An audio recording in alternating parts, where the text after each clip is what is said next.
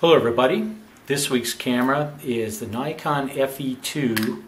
It was made from 1983 to 1987. On June 5th, 1989, Jeff Widener of the Associated Press got one of the most widely distributed pictures of the so-called Tank Man, the protester who stood in front of one of the tanks at Tiananmen Square. He used an FE2 and a Nikkor 400mm lens with a 2x uh, telephoto extender. He took it from his hotel room because he'd been injured during an earlier protest. Has a uh, titanium bladed shutter, goes from 8 seconds to 1 4 thousandth of a second plus bulb. The 1 250th of a second setting is manual uh, if your batteries run dead or something like that. It's also the speed that it'll do uh, flash sync. Center weighted uh, through the lens metering uses a match needle you can see in the viewfinder. In aperture priority mode, um, it just shows you where you're at, whether you're over or under. In manual mode, it'll show you what it thinks is a properly exposed picture. Then the other needle on the shutter uh, shows where you have the camera set.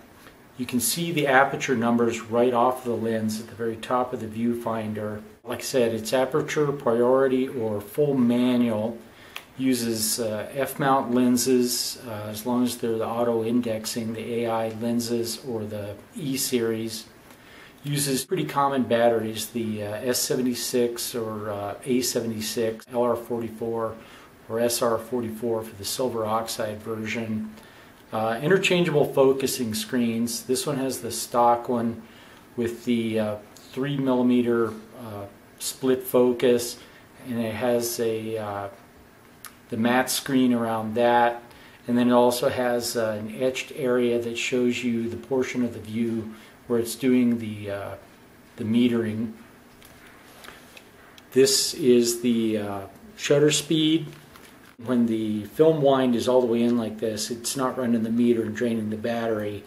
You got to remember to have it in this offset position. Then it's metering and ready to go. Uh, film rewind and your film speed.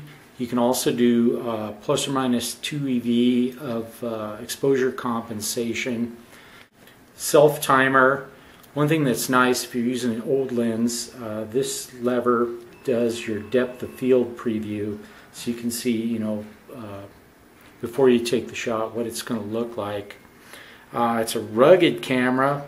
It's a blast. I got lucky and got one in really, really good shape. So I'll shoot another couple rolls through it and I'll see you then.